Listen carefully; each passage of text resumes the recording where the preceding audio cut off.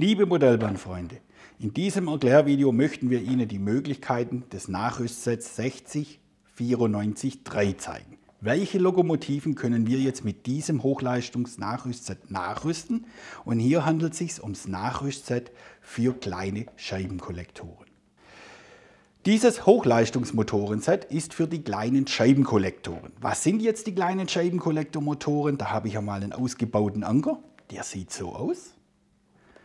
Und die dann Namensgebung kommt, weil diese Kollektorfläche aussieht wie eine Scheibe. Darum heißt er hier jetzt Scheibenkollektor. Und das ist die kleine Bauform davon. In diesem Set sind dann diese Teile enthalten, um den alten Motor durch einen neuen Hochleistungsmotor zu ersetzen. Wir machen die Packung mal auf. Der Inhalt sieht dann so aus. Und auch hier gibt es dann eine Feldmagnet.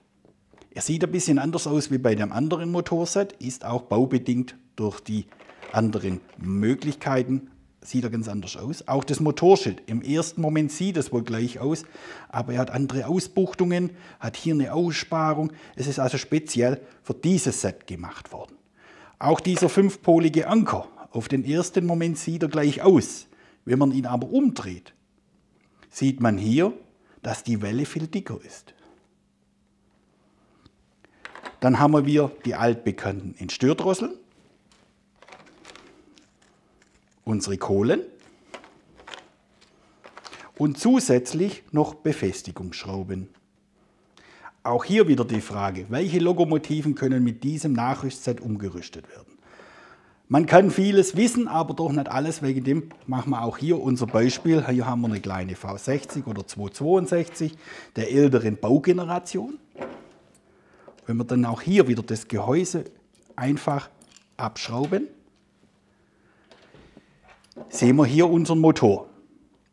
Das ist der kleine Scheibenkollektor. Sieht man sofort daran, dass wir jetzt hier Bürste und Kohle haben und die sind jetzt von vorne gesteckt. Das heißt also hier in der kleinen Bauform. Dieser Motor würde dann komplett durch den neuen Hochleistungsantrieb ersetzt und das heißt dann, wir könnten dann hier auch einen neuen Decoder einbauen. Im nächsten Erklärvideo bauen wir mit Ihnen zusammen den neuen Motor hier ein, sodass wir hier einen neuen Hochleistungsmotor haben.